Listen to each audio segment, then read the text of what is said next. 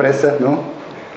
Uh, vreau să vă aduc la cunoștință că Partidul Mișcarea Populară, în Colegiul Național care a avut loc săptămâna aceasta, a luat hotărârea de a lăsa tuturor organizațiilor județene libertatea de a face majorități, nu alianțe politice, majorități conjuncturale în diverse localități.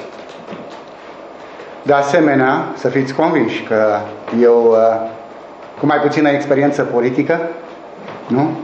mi-am informat și mi-am ținut la curent uh, liderii mei politici de la nivel național.